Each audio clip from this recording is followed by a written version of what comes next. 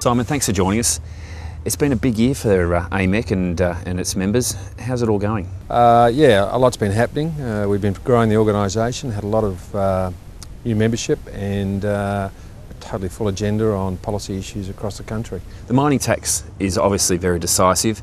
Can your members understand why the community could be quite for the mining tax and why they're actually very pro it? It is a complex equation and as a consequence trying to get people to understand that through all the current taxation system, as well as state taxes, at PAYG and payroll tax and so forth, there is already a massive return, 46%. And if you start upping that much further, and, and that's where we're going with the original RSPT, and we still are with MRRT up around 46, mm. but instead of being 56, we become internationally uncompetitive for a lot of the smaller and mid-tier companies. The public have got to understand uh, and trust the current system that there is a redistribution of the wealth and it is done fairly and equitably. The consultation uh, was virtually non-existent. I mean, are they consulting now? Are they talking to organisations like yourselves?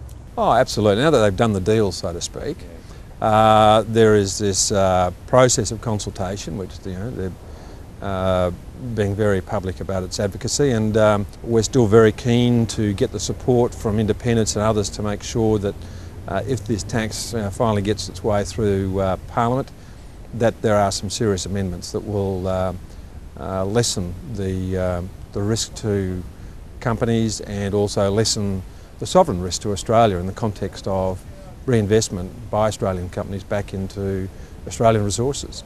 Once we finish with the mining tax, we've also got now the carbon tax that we're heading down the track of. How's that going to affect your members? Look, it's, it's hard to tell at this stage because we just don't have any detail on the carbon tax. And that's one of the frustrating things about this government. You know, it announces a tax and you, you're totally left in the dark as to what it actually means to your business because you've got no, de no details to run through any financial modelling and understand the true implications of these taxes to your business.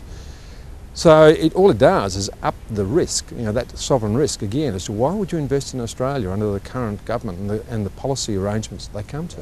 Well, I mean, Australia had the confidence of the whole world as far as, uh, as a place to go away and invest. Uh, are we suggesting now that the, the rest of the world is, is, is investing with caution? We're seeing uh, you know, key states like uh, Queensland and Western Australia in particular drop right away from being in single figures uh, of a, you know, a good place to invest, uh, you know, right out to the, the 30s, you know, as, as far as the ranking goes. And, uh, you know, we, you know, the government's really got to understand that this is going to have an impact. And you might not see it today or tomorrow, but down the track, um, the fact that people aren't putting the level of investment into exploration in particular, um, that, that will come back and bite us. What are the bigger issues that are going to be facing your members and what is AMEC going to be looking at over the next couple of years? We're seriously concerned that uh, there will be a, uh, I guess, a, a, complication in getting some of the approvals processes through for serious infrastructure corridors. Uh, the workforce, of course, is um, paramount. So, you know, they're, they're critically important to us. I mean, the, the tax regime, as we know, is, um, is vital and, and that'll still be on our radar uh, for some time to come. When you're not telling the federal government to lay off our, uh, our taxes, what is, what is Simon Bennison doing? I'm sort of uh, wedded to my golf when I can get out there and do it, and, uh, and the rest of the time sort of spent at home with the family and um, uh, trying to keep uh, my wife happy with her garden interests.